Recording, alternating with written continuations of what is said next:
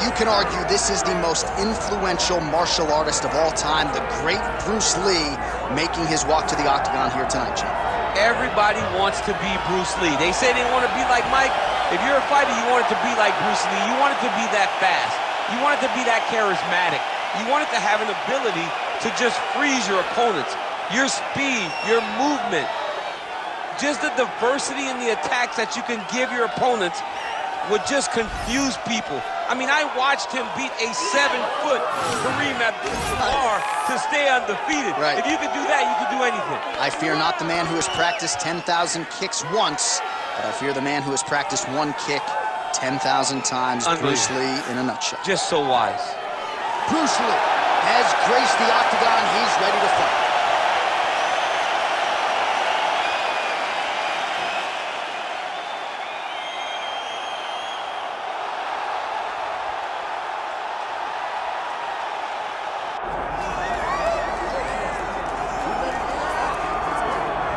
All right, folks, here we go. All eyes are on the undisputed UFC welterweight champion. Future might be in the UFC Hall of Fame, but he certainly didn't want to hear that noise in the fighter meeting. He is focused on the present, and that is this significant challenge against the number one contender tonight. Yeah, he's not looking down the line. This is the guy that lives in the here and now. He told us the other day, John, that he has so many more defenses to put himself alongside the great welterweight champions, Kamaru Usman and George St. Pierre. He has got a real idea of where he wants to go, and he feels like tonight is just another step in the road to great. And he's been inspired by all of those great welterweights that preceded him, Leon Edwards among them. Now it's his turn to shine on a big stage yet again. Charles Oliveira is ready to engage yet again.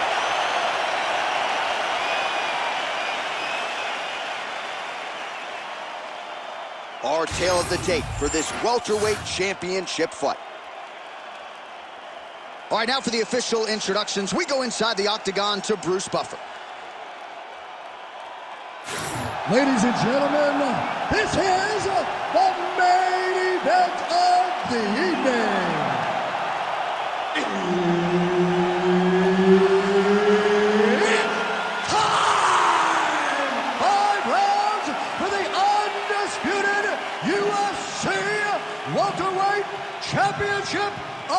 The world. Introducing first, fighting out of the blue corner, presenting the challenger, Bruce the Dragon Lee. And now, introducing the champion, fighting out of the red corner, presenting the reigning, defending, undisputed UFC welterweight champion of the world, Charles do Bronx Oliveira.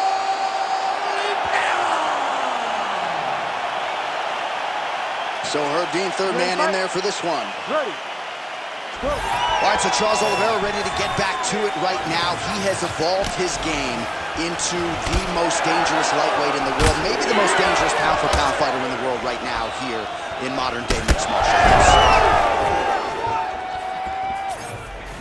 Early round action here, Charles Oliveira pressing forward, guard high, in constant pursuit of his foe. Yeah, classic Muay Thai, man. Lifting that knee to draw to reaction, and if you give him too big a reaction, he will start you with that beautiful left hook. The guy has, has tremendous power, and he sets up his strikes like not many guys in the UFC, or not many people in the UFC.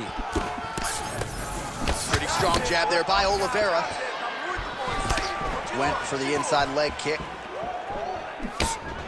Back and forth we go. Oliveira doing the right things defensively.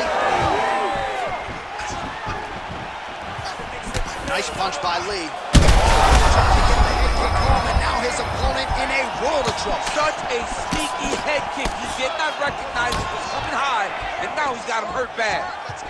Oh, nice kick. Under three minutes now to go in what has been a very fast-paced opening round here. Well, he rocked him, but couldn't finish. He rocked him, he hurt him bad. He couldn't find that one shot to close the door. Could not shut the lights off. And now, he's tasked with trying to find that shot again.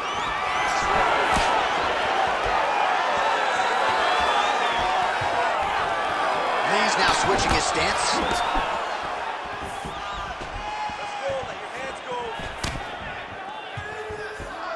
Trying to establish that jab once again.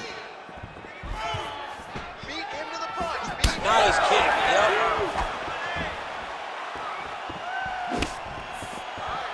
Big liver kick lands under the elbow.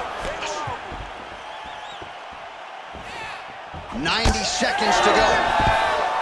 Takedown defense holds up. There, DC. You don't want to eat too many more of those. No, and he needs to start looking to finish now because he's got his opponent hurt very bad. Big left hand. Oh, Oh! big knee to the body, man alive. And now a head kick to boot. Nice level change. Gets back to his feet. Oh, big left. Oh, man, these are hard. Oh, nice right hand. And a nice job at least staying upright on that.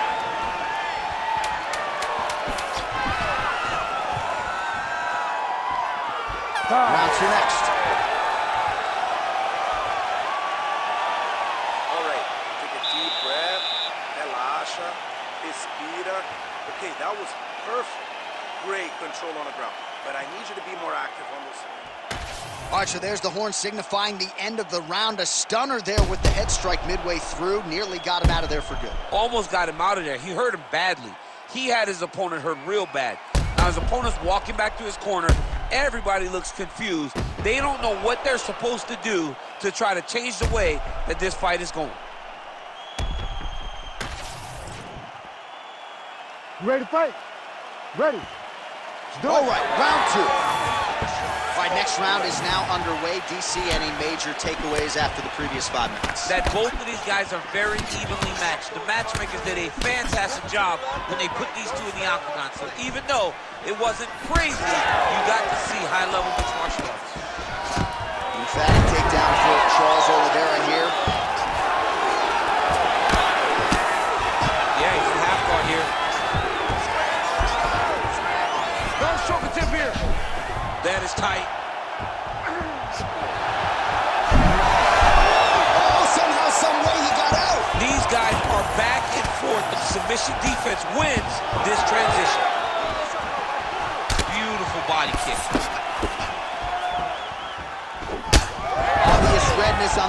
Side of his body.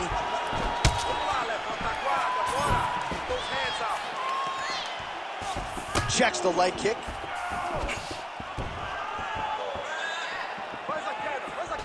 Just missed with that right hand. Three minutes and change to go in round two.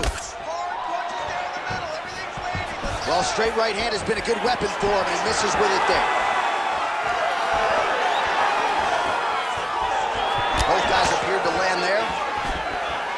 His corner was pretty urgent after round one. A little bit lackluster there in that opening round. He has certainly picked up the pace here, and as a result, he has taken control of this second round.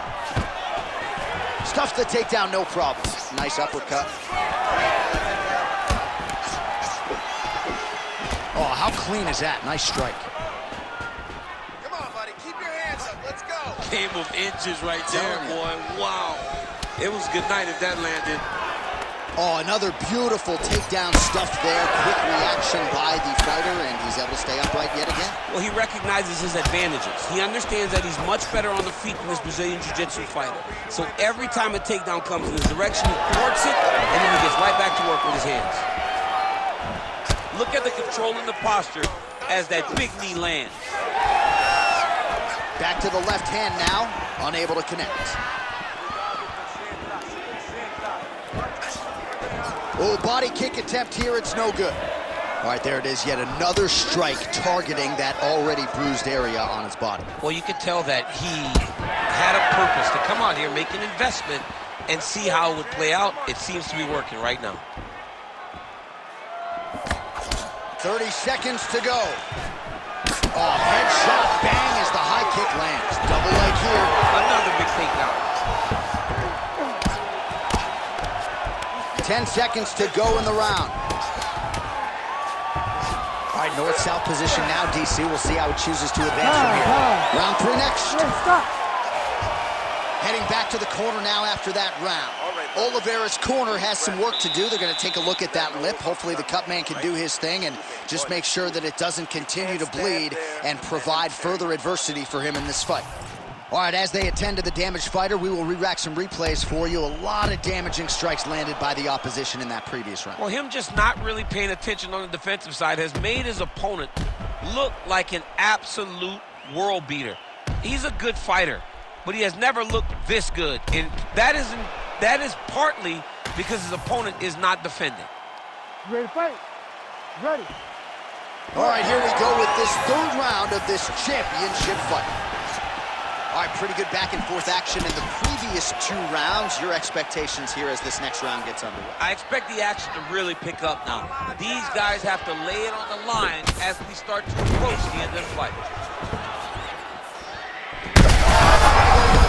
Right to the target. Let's see if his opponent can survive. I cannot believe he is still standing after taking that punch.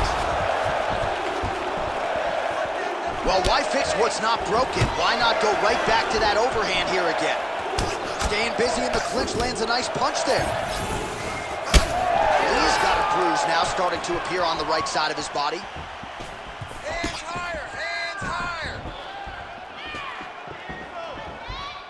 Oh, massive knee to the body. That can't feel good. Oh, he's in the clinch again. Hook in the clinch there is good by Lee.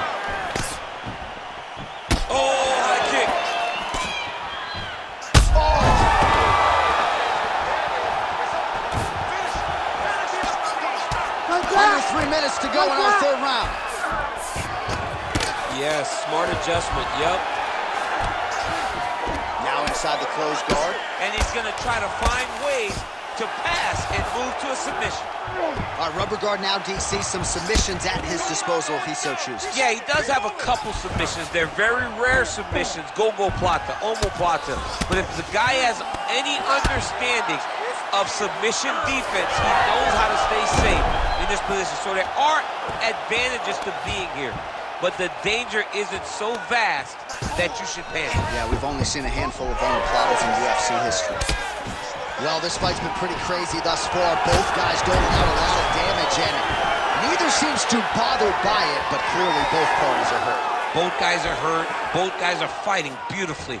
Both are showing a lot of heart right now in this fight. They're both doing amazing jobs. Let's see who gets the job done at the end of this thing. Oh, effective strike from the clinch there by Lee. Well, if body language is any indication, mentally he is not back in this fight after that knockdown earlier in the round. I mean, we thought the fight was over, so I guess it's a credit to him to still even be fighting. But he's got to do something different if he has any designs of Oh, what a head kick there as he lands, and maybe time to get the bonus checks ready. I mean, this fight is about done. He's got him hurt very bad with his head kick. Now he has to one more strike to end the night. So he's really starting to put together some significant body shots here. These are going to take their toll as this fight goes on.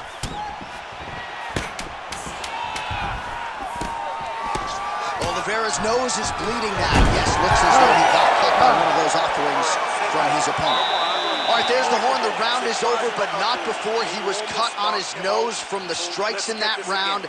Back to the stool. Cut man is in. Should be able to shut that cut and prevent it from becoming an issue moving forward. But of course, as soon as he gets struck in that next round, it could open back up.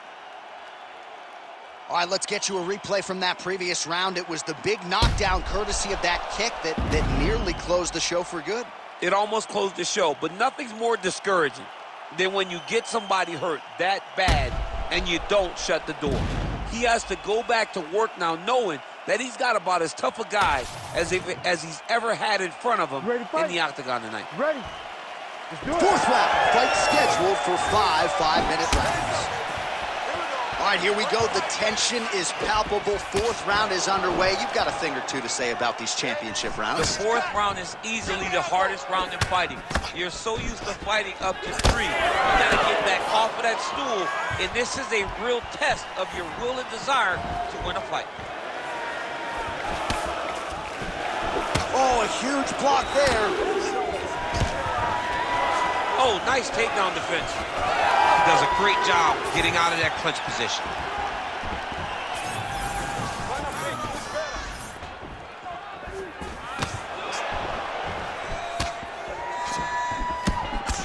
Hook is there again. Both fighters exchange in the pocket here. Trying to inflict some damage here, but misses with the kick.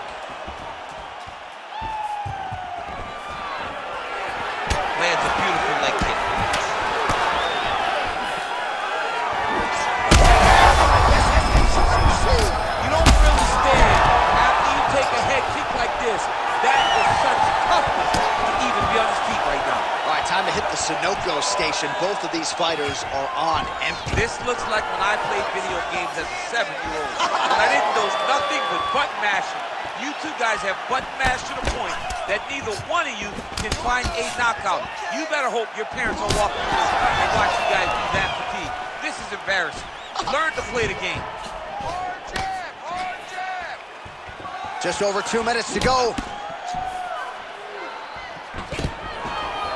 Stuffs that takedown attempt without issue. All right, so the redness is omnipresent now. He has absorbed a whole lot of body strikes. Pretty good poker face, but I'm not sure how many more of these he wants to take. No, he doesn't. He needs to do something different. He cannot continue to get beat up like this. But it's on his opponent. It's on the guy that is landing these strikes to continue down the path until he makes you change something. Do this over and over because it seems like this is your easiest path to victory.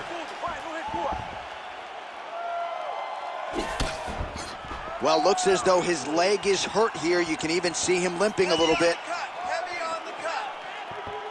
Under a minute now to go in the round. Effective use of the jab by Lee. Well, some fighters, when they get cracked in the mouth, they respond well. He got stunned early in the round and hasn't really recovered or gotten back into things. People react differently, right? Some people just, oh, And there it is! holy smokes! Yeah, that was just a gorgeous shot to end the fight right there. I'm not even sure the opponent really saw it coming. So back to the drawing board for him. But for the winner, this is certainly exactly what he was looking for here tonight.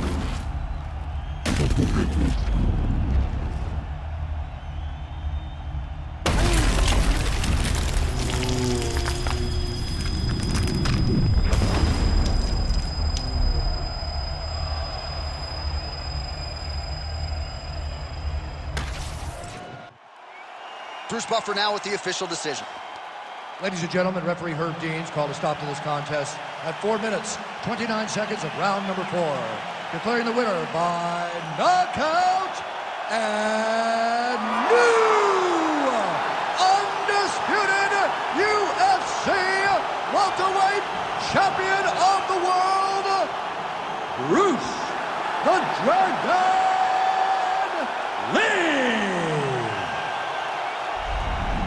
Well, what else can you say about Bruce Lee after a performance like this one? Seemingly everyone on the roster wants to take their cracks against one of the.